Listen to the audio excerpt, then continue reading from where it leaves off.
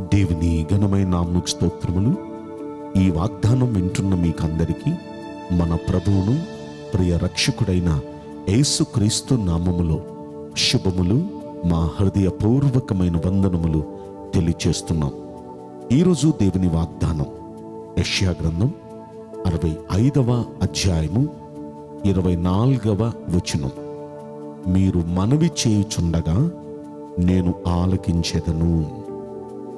ఈ వాగ్దానం మనందరి పట్ల నిశ్చయంగా మంచి దేవుడు నెరవేర్చునుగాక. ఆమెన్. ఇక్కడ వాగ్దానాన్ని మనం పరిశీలిస్తే ఇక్కడ రానున్న దినాలలో జరగబోతున్న సంగతుల గురించి యశ అనే ప్రవక్త ద్వారా దేవుడు మాట్లాడిస్తున్నాడు. ఆ రానున్న దినాలలో ఇజ్రాయేలీలకు కానీ దేవుని పిల్లలకు కానీ కలగబోతున్న ఆ సంగతులన్నీ మాట్లాడుతూ అప్పుడు ఎలా ఉండబోతుందంటే వారి సంతానం ఆశీర్వదించబడుతుందని వారికి వారి పిల్లలకు గొప్ప గొప్ప కార్యాలు జరుగుతాయని ముందు వచ్చినాల్లో చెప్తూ ఆ ఇరవై నాలుగో వచ్చిన అంటున్నాడు వారికి ఇలాగు జరుగును. వారు వేడుకొనక మునుపే నేను ఉత్తరమిస్తాను. వారు మనవి చేయుచుండగా నేను ఆలకించేదను అని చెప్తూ ఉన్నాడు. ఈ వాగ్దానం వారు అనే చోట మనము అని పెట్టుకుని మనము వేడుకొనక మునిపే దేవుడు మనకు ఉత్తరమిస్తాడు మనం మనవి చేస్తూ ఉండగానే మన దేవుడు ఆలకిస్తాడు అని దేవుని వాగ్దానాన్ని ఎప్పుడు మనం సొంతం చేసుకోవాలి. ఇక్కడ ఈ వాగ్దానం ఖచ్చితంగా మనకు నెరవేరుతుందని నమ్మండి. మనం వేడుకొనక మునిపే మన దేవుడు ఉత్తరం ఇస్తాడంట. మనం మనవి చేయుచూ ఉండగానే మన మనవి ఆయన ఆలకిస్తాడు. అయితే మనం ఎలా ఉంటే దేవుడు ఈ కార్యాలు చేస్తాడు? ఒకసారి ధాన్యాల గ్రంథంలో తొమ్మిదవ అధ్యాయంలో మనం ఇరవై మూడవ వచ్చంలో చూస్తే దానియలు దగ్గరికి దేవుడు తన దూతను పంపిస్తాడు. ఆ దూత వచ్చి అన్న మాట ఏంటో చెప్పిన?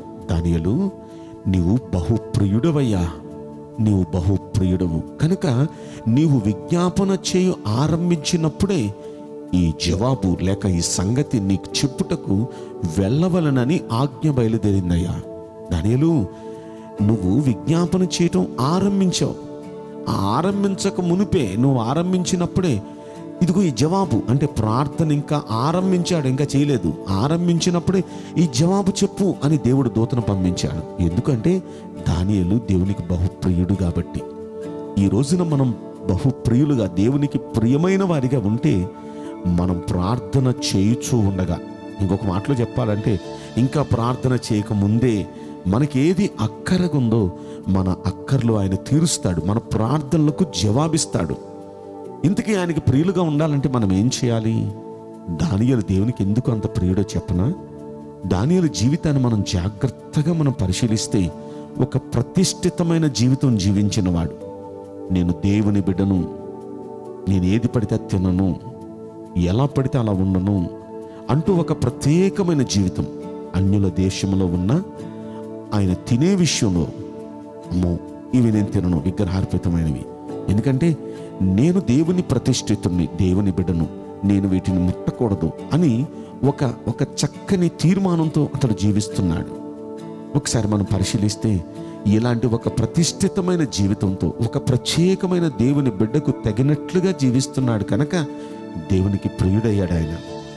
ఇంకా ఎందుకు ప్రియుడయ్యాడని మీరు నన్ను అడిగితే దేవునితో ప్రతిరోజు రోజుకి మూడు సార్లు ప్రార్థనలో గడుపుతున్నాడు. రోజుకి మూడు సార్లు స్థుతులు చేయటంలో గడుపుతున్నాడు. ఇలా దేవునితో ప్రతిరోజు రోజుకి మూడు సార్లు ప్రార్థన రోజుకి మూడు సార్లు స్థుతి ఎన్ని ఆటంకాలు వచ్చినా ఎంత బిజీలో ఉన్నా సరే ప్రతిరోజు ఇలా చేస్తున్నాడు. ఆఖరికి ఒకరోజు రాజు మరణశాసం విధించినా సరే అతడు ప్రార్థన చేస్తే చచ్చిపోతాడు. అది తెలుసు. ఆ టైంలో కూడా అతను ప్రార్థన చేయడం స్థుతి చేయడం మానలేదు. అంటే నేను పోయినా పర్వాలేదు నేను చచ్చిపోయినా పర్వాలేదు. కానీ దేవుని దగ్గర నేను పెట్టుకున్న నియమం నేను మీరకూడదు. దేవుడి దగ్గర మాట ఇచ్చాను నేను అలా చేయాలి అని. అంటే తన ప్రాణాల కన్నా దేవునితో గడపటమే దేవుని దగ్గర తను మాటిచ్చిన ప్రకారం నెరవేర్చటమే తనకు ప్రాముఖ్యం. అందుకే దేవునికి ప్రియుడయ్యాడండి. దానియలు గ్రంథంలో ఆరో అధ్యాయంలో మనం చూస్తే ఈ దానియలు గురించి ఇంకో మాట రాసుంది. అతడు నమ్మకమైన వాడు చాలా నమ్మకమైన వాడు ఏ తప్పు ఏ నేరం ఎప్పుడు చేయనివాడు. ఎంతో జాగ్రత్తగా జీవిస్తూ నమ్మకంగా చూస్తున్న దేవుని దృష్టిలో నమ్మకంగా ఉంటున్నాడు. ఇంత మంచివాడు. అతని గురించి ఇంకొక మాట అదే ఆరవ అధ్యాయంలో మనం చూస్తాం. అతి శ్రేష్టమైన బుద్ధి గలవాడు అని. అతని బుద్ధి కూడా అతి శ్రేష్టమైన బుద్ధి అతి శ్రేష్టమైన బుద్ధి. బుద్ధి అతి శ్రేష్టమైనది నమ్మకమైన వాడు ఏ తప్పు ఏ నేరం చేయనివాడు రోజు ప్రభుతో ప్రార్థన చేస్తూ స్థుతి చేస్తూ గడిపినవాడు ప్రతిష్ఠితమైన జీవితం నేను దేవుని బిడను నేను ఎలా పడితే అలా ఉండకూడదు ఏది పడితే అది తినకూడదని ప్రతిష్ఠితమైన జీవితం జీవిస్తున్నవాడు ఇన్ని మంచి లక్షణాలు ఉన్నవాడు దేవునికి ప్రియమైన వాడిగా ఉండకుండా ఎలా ఉంటాడు? ఈరోజు నీ వాక్యం ఈ వాగ్దానం వింటున్న ప్రియ దేవుని బిడ్డలారా మీరంతా కూడా దేవునికి ప్రియమైన వారు కావాలనేదే దేవుని ఉద్దేశం. అందుకే ఈ వాగ్దానం ద్వారా దేవుడు మీతో మాట్లాడుతున్నాడు. ప్రియమైన వారిగా ఆయనకుంటే మీరు ప్రార్థన చేయడానికి అలా మోకరించి మీరు ప్రార్థన చేస్తూ ఉండగానే జవాబు వచ్చేస్తుంది. ఒక్కొక్కసారి ఏం జరిగిద్దో చెప్పన? మీరు వేడుకొనక మునిపే దేవుడు మీకు జవాబు పంపిస్తాడు. అలాంటి ప్రార్థనా పరులుగా అలాంటి దేవునికి ప్రియులుగా మనందరము మారుదుముగాక ఈ వాగ్దానం మనందరి పట్ల దేవుడు నెరవేర్చునుగాక ఆమె నేను మీకోసం ప్రార్థన చేయబోతున్నాను.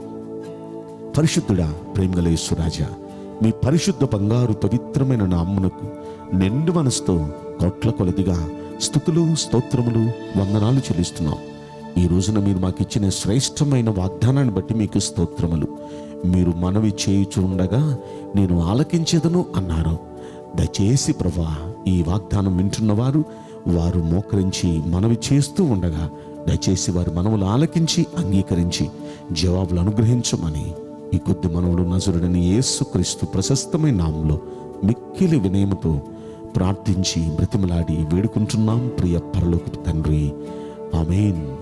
May God bless you all thank you చిన్న గమనిక. ప్రతిరోజు సాయంత్రం ఏడు గంటల నుండి ఎనిమిది గంటల ముప్పై నిమిషాల వరకు దేవుని సన్నిధిని అనుభవిస్తూ ప్రార్థనా కోడికలు జరుగుతున్నాయి. దయచేసి ఇంతకు ముందు చూడని మీలో ఎవరైనా ఉంటే మీరంతా కూడా ఆ ప్రార్థనా కోడికల్లో పాల్గొని దైవికమైన ఆశీర్వాదాలు పొందాల్సిందిగా పొరపాటు మీకు మనవి చేస్తున్నాం. మీలో ఎవరైనా ఏదైనా సమస్యలు చెప్పి మీకోసం మేము ప్రార్థన చేయాలి అని మీకు ఆలోచన ఉంటే లైవ్ చాట్లో మీరు మీ ప్రార్థన మనవులు ఆ మీటింగ్ జరుగుతున్న సమయంలో లైవ్ చాట్లో మీరు ఆ ప్రార్థన మనవులు తెలియపరిస్తే మీకోసం ఎంతమంది లైవ్లో ఉన్నారో అందరం ఏకీవించి ప్రార్థిస్తాం. చాలా గొప్ప గొప్ప కార్యాలు జరుగుతున్నాయి. ఇంతకుముందు ఎన్నడూ పాల్గొని వారు ఎవరైనా ఉంటే ఎందుకు మీరు పాల్గొకూడదు? మిమ్మల్ని అందరి మీటింగ్కి ఆహ్వానిస్తున్నాం. ప్రతిరోజు సాయంత్రం ఇదే ఛానల్లో ఏడు గంటల నుండి జరిగే ఆ మీటింగ్లో మీరు కూడా పాల్గొని దైవికమైన ఆశీర్వాదాలు పొందాల్సిందిగా మిమ్మల్ని ఆహ్వానిస్తున్నాం. May God bless you all thank you